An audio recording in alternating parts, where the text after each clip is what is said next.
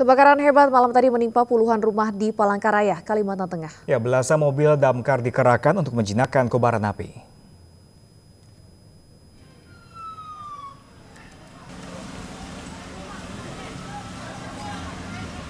Kebakaran hebat terjadi di komplek padat penduduk di Jalan Murjani, Gang Rahayu, Kota Palangkaraya, Kalimantan Tengah sekitar pukul 12 malam tadi. Api sulit dikendalikan karena sebagian besar rumah terbuat dari kayu. Angin berhembus kencang juga menyulitkan pemadaman. Petugas damkar sulit menjangkau titik api karena lokasi kebakaran berada di gang yang sempit. Belasan mobil damkar dikerahkan dan api baru dapat dipadamkan satu jam kemudian. Dugaan sementara kebakaran akibat hubungan pendek arus listrik.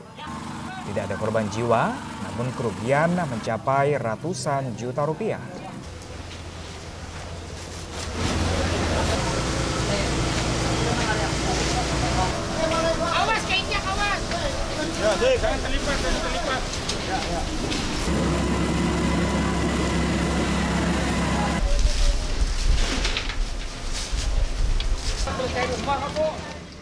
Jam 12 kejadian api ini.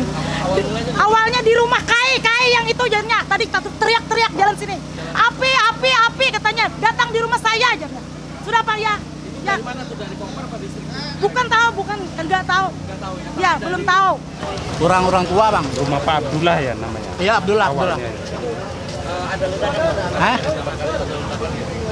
Enggak tahu pokoknya saya keluar api langsung.